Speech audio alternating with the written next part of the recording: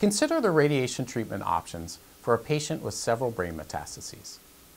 We know that stereotactic radiosurgery, or SRS for short, better preserves cognitive function and quality of life without negatively impacting overall survival compared with whole brain radiotherapy, which exerts its toxic effects by damaging normal brain tissue.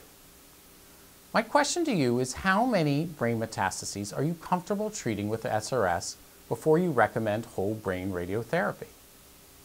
Is your answer based on a maximum number of METs, say 10 to 15, on account of the time required for treatment planning and administration?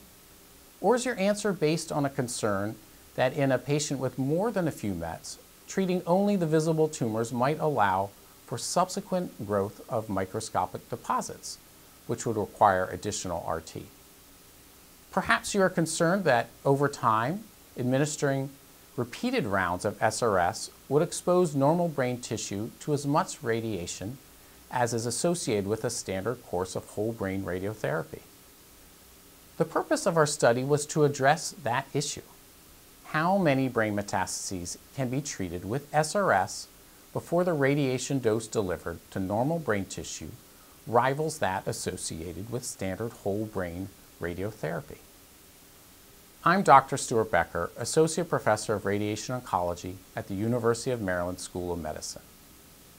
To answer this question, we created a computer model of a brain, then placed tumors of a typical distribution of sizes in random locations, and simulated treatment with SRS until the mean brain dose reached 3 gray. That's the radiation dose delivered during a single fraction of standard course of whole brain radiotherapy, typically 30 gray over 10 daily fractions.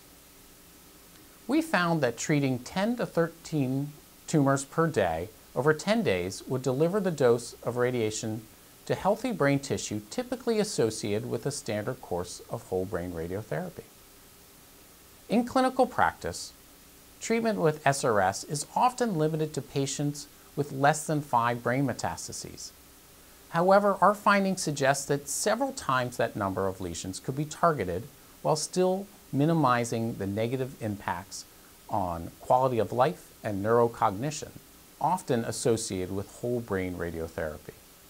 In addition, with the advent of single isocenter multiple target, SIMT, LINAC-based SRS, treatment times are considerably shorter and more convenient than a full course of brain radiation therapy. I encourage you to check out our manuscript to learn more.